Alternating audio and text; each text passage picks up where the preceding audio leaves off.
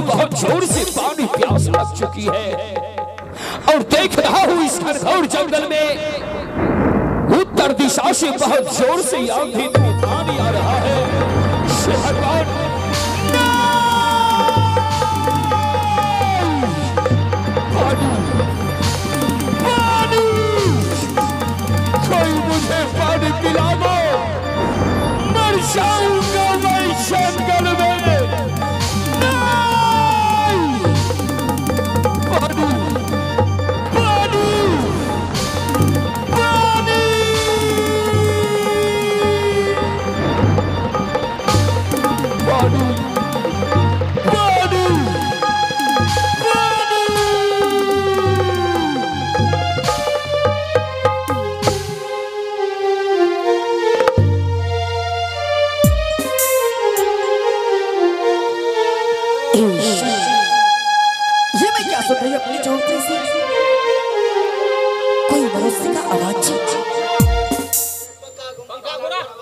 हे प्रभु।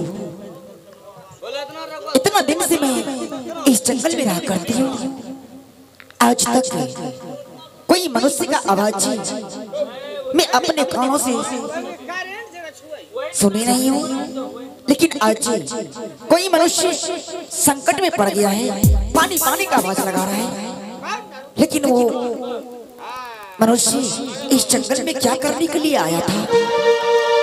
अच्छा कोई बात नहीं। है इसलिए मैं चल के देखती हूँ। वो मनुष्य है कौन? उसे मैं अवश्य पानी पिला करके उसे मिलाऊँगी। इससे मैं चल के देखती हूँ। ये क्या? ईश्वर।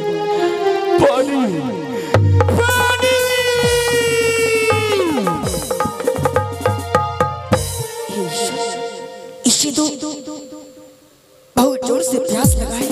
ये तो मेरा स्वामी जी है। हे प्रभु, जिस देश से मैं वनवास आई, उस देश से मैं सपने में नहीं देखी मैं अपना स्वामी जी का। ये क्या? मेरा स्वामी जी आज पानी प्यास के कारण ज़मीन पर बेहोश पड़ा है। हे प्रभु, कोई बात नहीं। इसमें सबसे पहले मैं अपना स्वामी जी को प्रणाम करती हूँ। उसके बाद अवश्य पानी पिलाऊँगा।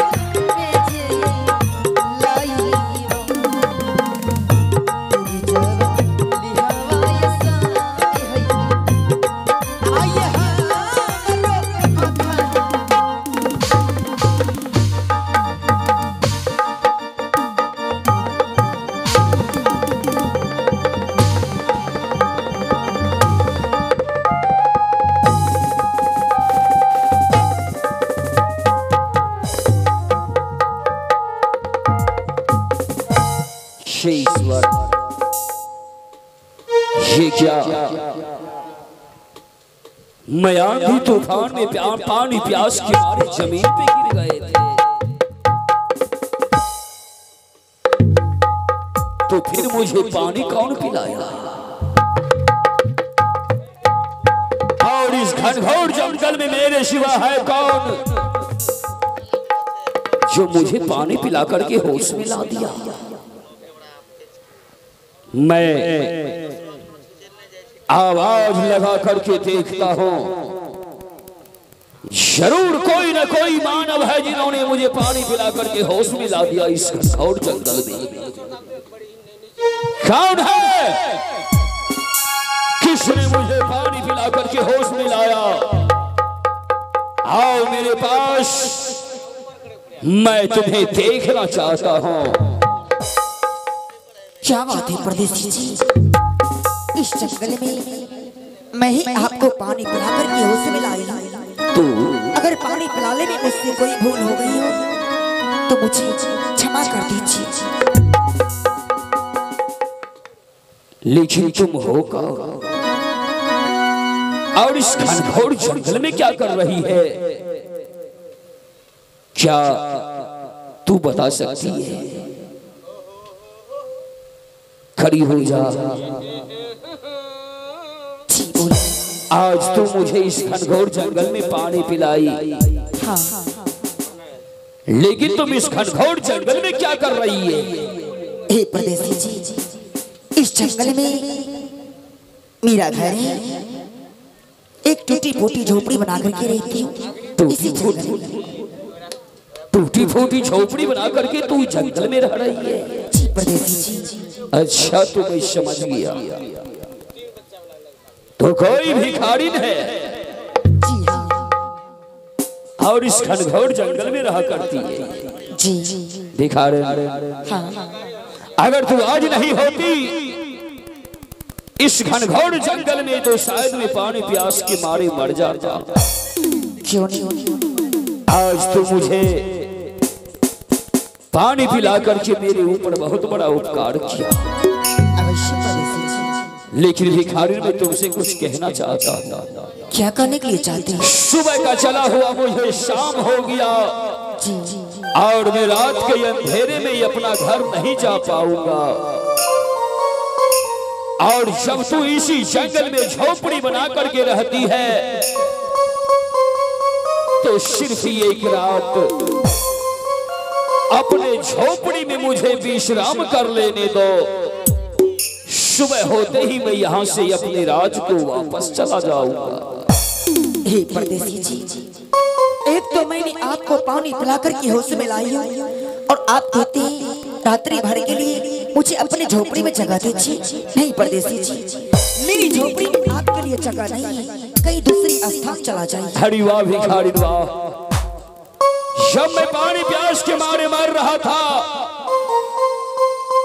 तब तू मुझे पानी पिला करके होश में ला दी। और एक रात में तुम्हारे झोपड़ी में विश्राम करना चाहता हूँ तो तू कर रही है कि आपके लिए झोपड़ी में जगह नहीं है। तो कौन कहा था तुम्हें पानी पिला करके होश में लाने को? वैसे भी मैं ज़मीन पे पानी प्यास के मारे मर रहा था।